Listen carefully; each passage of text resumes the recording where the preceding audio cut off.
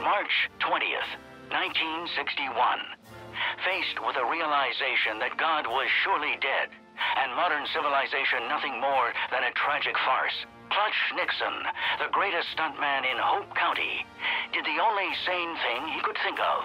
He strapped himself into a rickety buggy and careened down a rocky mountainside before crash landing in the abandoned town of Prosperity. When he finally regained consciousness, Clutch vowed to press on with his stunt work and children's literacy programs rather than continue his descent into a bottomless metaphysical abyss.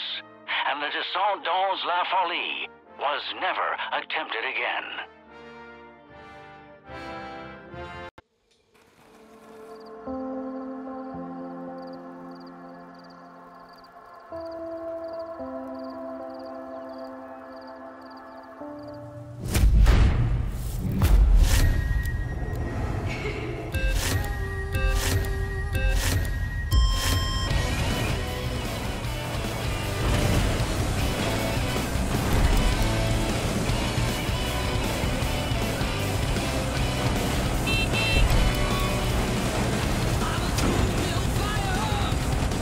Single rock or tree could spell the end.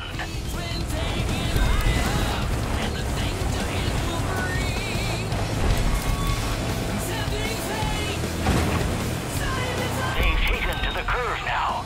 Easy does it.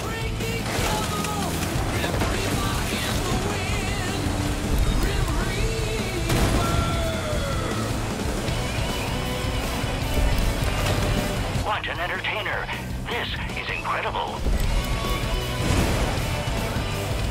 It's a bumpy ride that can't be easy on the undercarriage. And I do not mean the buggies.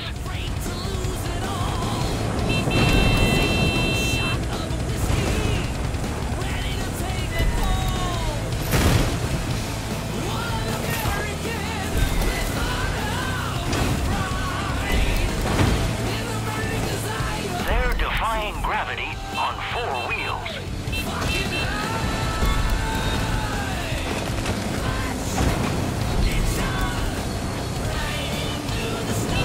They're coming up on Prosperity.